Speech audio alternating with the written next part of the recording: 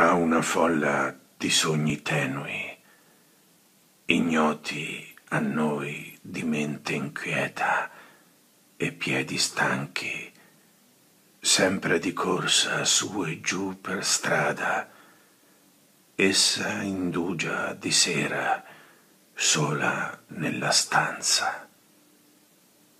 Non come una dea tranquilla, scolpita in pietra, evanescente, come se incontrassimo una lamia pensosa in un ritiro agreste, una fantasia smateriata di nostra invenzione.